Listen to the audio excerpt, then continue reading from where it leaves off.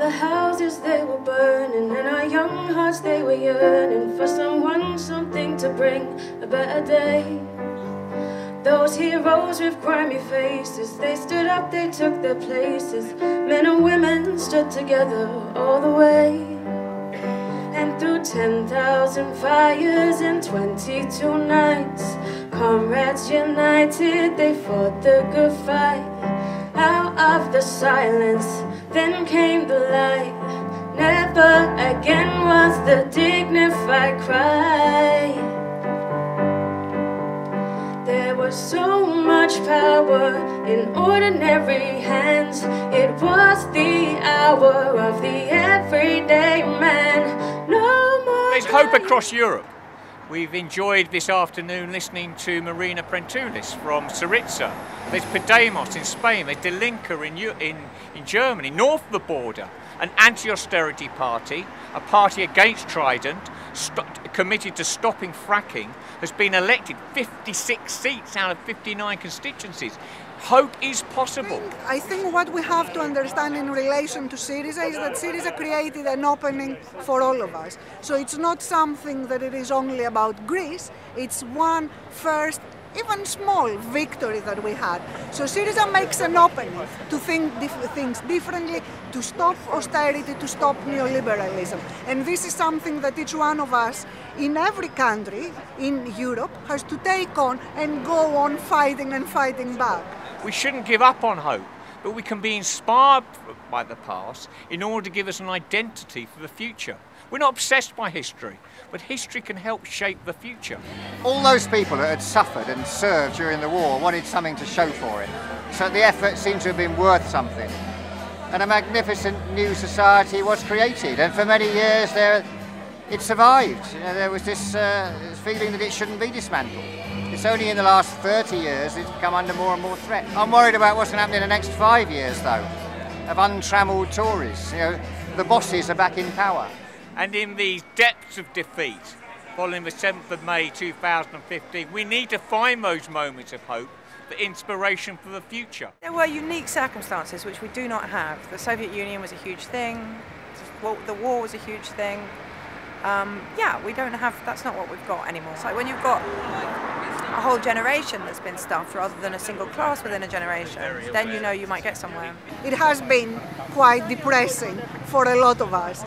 But I also think that what we are trying to do, and this is very important, is that you have different groups of people who have different views maybe, but they are all having a common enemy. So through these gatherings we are trying to create the links and bring this together. So creating a movement, a much bigger movement, not only in Britain, but I hope from my side that it will be across Europe. You, we have to be together, we have to discuss, organize, but not losing the joy that it comes with collective action and struggle. We see full, hooded, bearded Santas in every classroom in the country People are saying to me when I meet them that it feels like the invasion of an alien force. Did we fight the Second World War for our old traditional English department stores to be invaded by these hooded men in red? Their faces obscured, muttering unintelligibly to our vulnerable children. Time to take a stand. Let me hear it. Ban the Santa outfit. To make politics fun. That's why people are so turned off by the Westminster bubble parties because they see these as a political class, a professionalised po politics. In 1945, politics was the property of the people.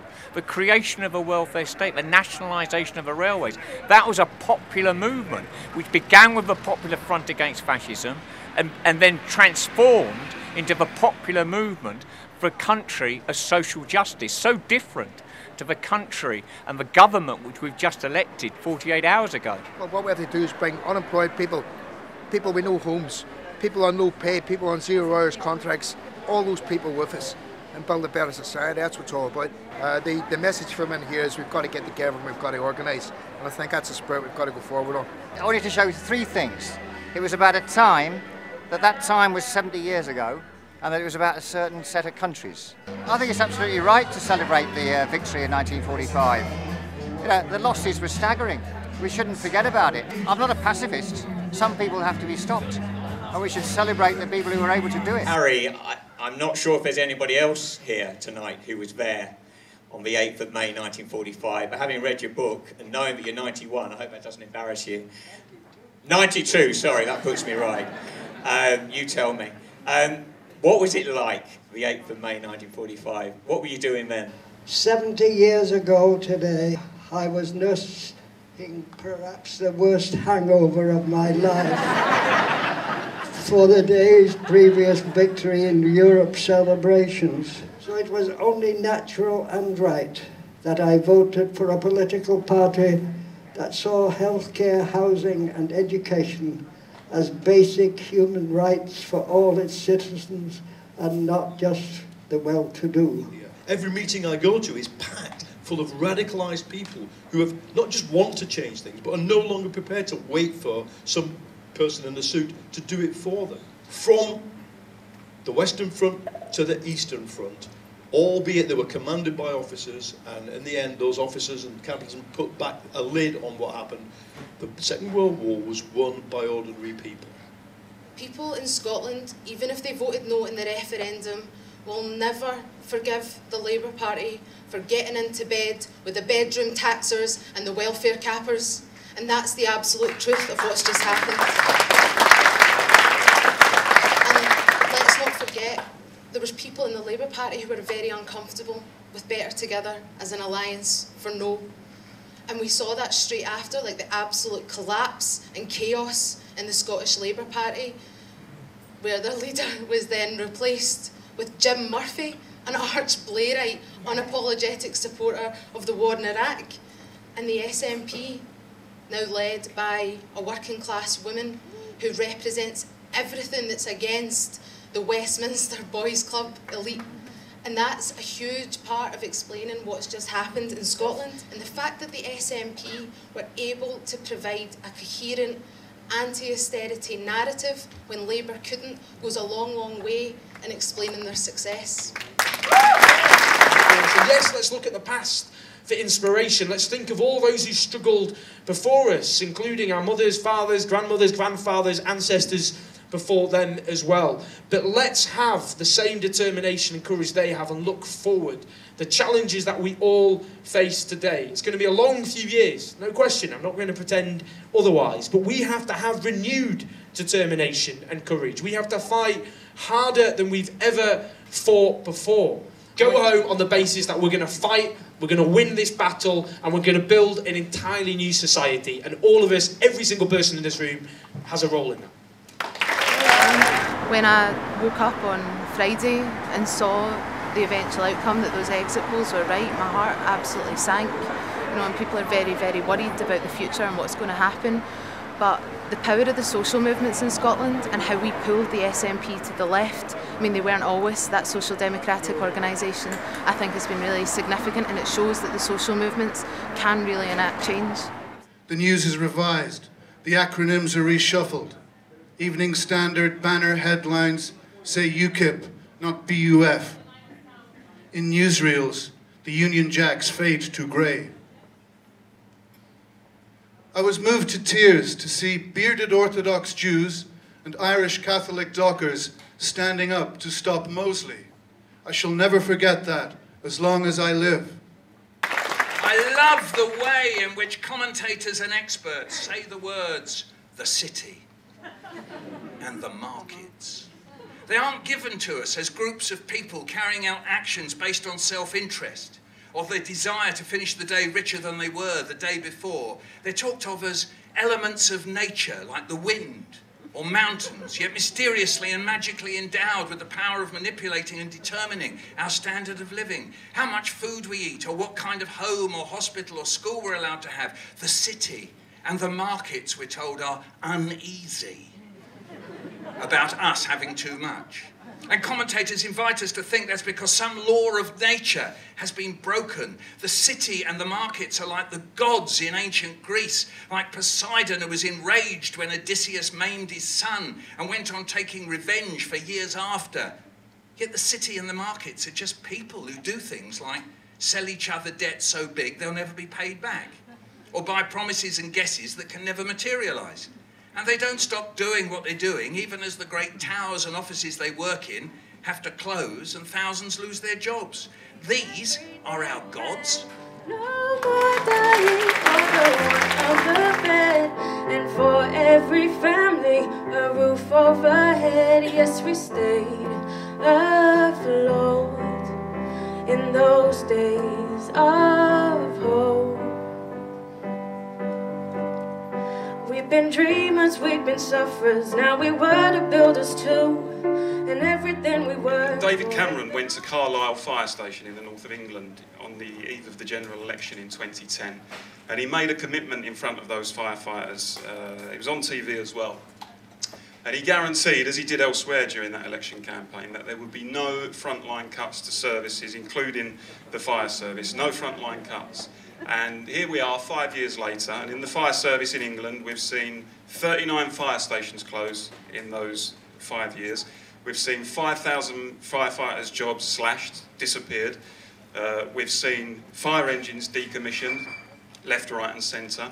We've seen response times go up as a result of that. We've seen a 20% cut in funding. So it's absolutely disgraceful that effectively he won that election on a fraud because I know that other public services have suffered the same sort of thing. The government has got this crackpot idea to force every firefighter to serve on the front line until 60 years of age. Uh, I can tell you we haven't had a strike action for a few weeks because we were looking at the outcome of the general election, but take it from me, there's every chance we're going to be calling for strike action in the next couple of weeks. To the days of public servants being heroes? Now they're cut to save, we'll save the banks but not the people. And our dear welfare state is no longer fair or well, uncertainty is rife. All we can do is rebel. Cause we've got more jobs with less hours, less pay, and no power. Knocking down our council houses to build up an empty palace. Back to the Second World War, it was firefighters standing side by side on the front line when the bombs of the Nazis was raining down. It was that solidarity that defeated fascism. It's that solidarity in this generation, I'm sure, that if we continue to stand together, we can fight the attacks. And it's the solidarity of everybody in this room and outside who wants to see decent public services, who wants to see peace, who wants to see social justice. It's that solidarity and organisation that will deliver it. In the same way that it was that in 1945 that built that New Jerusalem, it's us that can rebuild that New Jerusalem. Thanks very much indeed. It's a fantastic event. We must stay afloat Cause there's too much power in too few hands It is ours and we'll take it back Thank you. Last two days I've been so sad, so sad because I am not in ignorance about what this government has done and what they're planning to do, and I hate it, and I think it's cruel and absurd. Thank you, uh, but we all do, but yeah.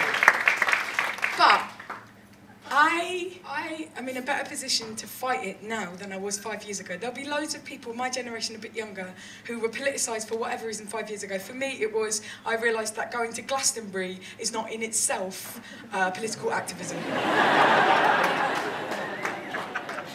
that was bad for me because then I realised I really was doing nothing. Um, it was really wonderful to be surrounded by people who I knew felt the same way that I did and who wanted to feel hopeful and positive and to celebrate things and to think about the future and, and think about what we can do uh, to counter austerity and to counter conservatives, to counter the lies they tell, and to try and make sure that we feel capable of really challenging them and really trying to stop what they're doing. For me, like the, the message of hope is really, really important because what I've learned from five years of uh, this government is that for me, I really want over the next five years to take all of my rage and all of my reaction to them and to push it as far as I can into something beneficial and wonderful and different so that in five years time we never have to have another Conservative government ever again. Don't out. Don't worry if you get too tired to do stuff for a little while. We do what we can while we can, and all of us do it at different times. So when some people feel really down, other people feel really excited. And when some people feel really strong, other people feel like they can't do anything. And it's fine because life is really long, or life is very short, depending on what I'm trying to manipulate you into doing. It has been a real tonic. I think they've got the mix absolutely right. They've had a bit of politics, a bit of trade unions. They've had some very good comedians, and now we're having a band. So I think this is uh, how the left in this country have got to go.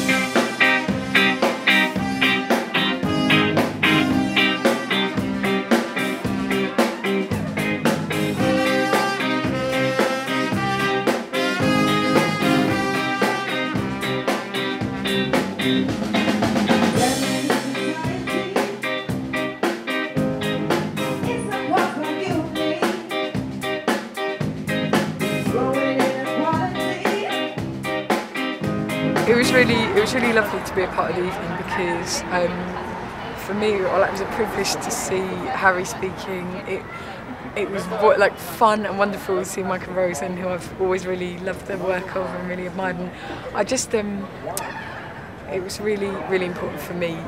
You know, two days after this election, when everything still feels so fragile and when everything is so sad, just to remember that there's so much to be hopeful about and happy about. And yeah, I'm really grateful to the organiser for putting it on because it meant a lot to me.